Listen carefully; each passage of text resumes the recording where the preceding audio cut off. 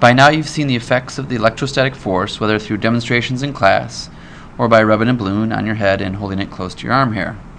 In this video you'll learn how to take data and analyze it to find the relationship between the strength of the electrostatic force and the distance between two charged objects.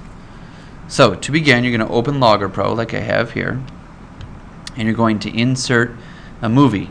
Now the movie uh, movie's already been recorded so when you go to insert movie, you're going to go to the extras drive. And um, in here, go to science, go to physics, and then go to uh, physics 432.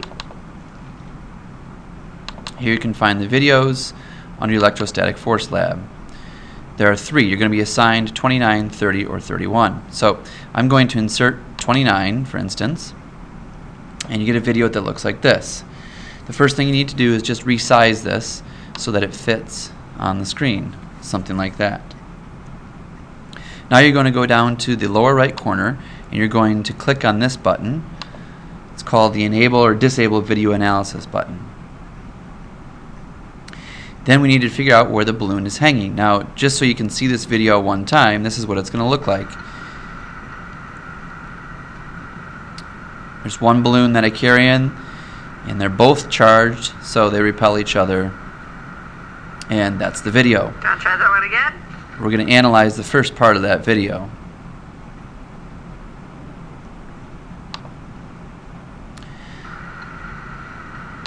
So the first thing you need to do is you need to figure out where the balloon is at rest. You can move back and forth using these buttons. This just moves one frame at a time. And you can see the frames up here are moving as I click back and forth. So I'm going to say that right here this balloon is at rest. And I need to set the origin on that balloon. Now you can set the origin wherever you want. You go up to the set origin button, that's this one, and you can set it here. You can set it on this little doodad at the top. Um, for this I'm just gonna set it I'll go right in the middle right below that little guy. So it looks like that. Next thing we want to do is set the scale so that the computer knows what kind of real distances we were working with. So you go over to the set the scale button and in the background of the video you can see there's a meter stick. And I'm just going to click and drag along there and I'm going to set that distance as one meter. It's already included, so that's one meter long. Now I'm ready to actually mark the location of the balloon for each individual case. So I'm going to go to uh, the add point button, which is this one, and I'm just going to add a point for the hanging balloon. So the balloon starts off hanging right here. I'm going to click that. Now notice when I did that, the frame was 206. So it might be different on your movie. On mine it's 206. I'm going to fast forward here about 20 frames. It wouldn't have to be 20, it could be 30, it can be 15, it doesn't matter. And then I'm going to mark the location of the balloon again, and I'm going to go right below that little thing again, and the balloon has moved about that far.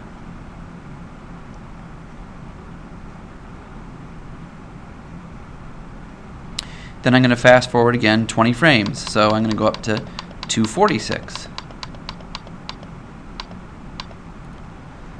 And I'm going to mark the location again. You're going to continue to do this. So go forward again, 20 more. So now I'm going to go to 66. You can repeat this process over and over again until you get five or six points. You can see I have four right now. I'll let you do those others on your own. The next thing we're going to do is we need to go back and mark the location of this balloon. So to do that, I'm going to go back in time. You'll see my data points erase. That's still recorded though. In fact, in the background you can see some blue data points on the graph. And I'm going to go back to my first frame, which was 206. And once there, now I need to mark the location of this balloon so I'm going to go to this button And on this button, it's called the Set Active Point. I'm going to click on that, Add Point Series, and then I'm going to mark the location of the first balloon. So I'll go to this, and I'll mark, I can mark the middle, I can mark the front, as long as I'm consistent, it doesn't matter. So I'll mark that, and then I'm going to fast forward again to frame 226, just like last time. You'll notice that the blue one appeared at the same time I'm going to add this one.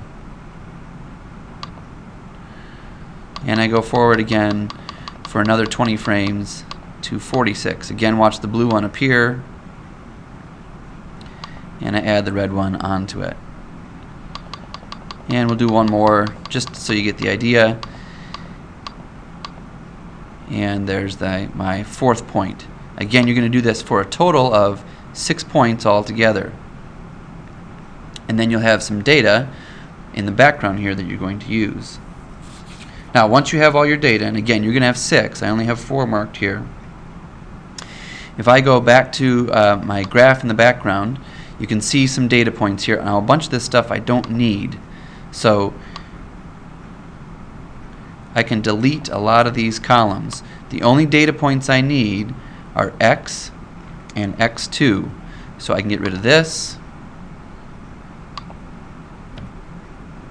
And I can get rid of this and this.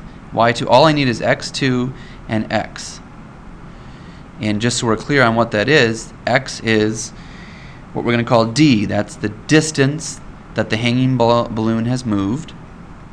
x2 is the distance from the uh, held balloon to the origin. And what you need to do now is take this data, the x data, copy and paste that, all six points, to Excel, and you're going to hand calculate the difference between x and x2. That is the distance between the two balloons. And from there, you're going to make a graph and analyze it as you normally would.